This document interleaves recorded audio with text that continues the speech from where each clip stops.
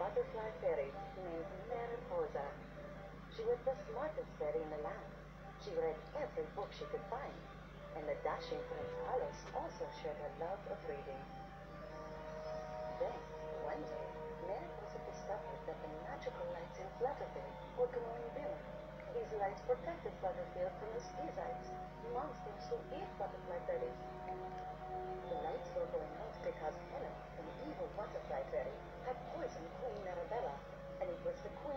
that made the light shine. So, Mariposa and her friends flew to the wilderness on a quest for an antidote. But along the way, they faced peril and danger of all kinds. When they finally arrived at the table of directions, Mariposa proved her courage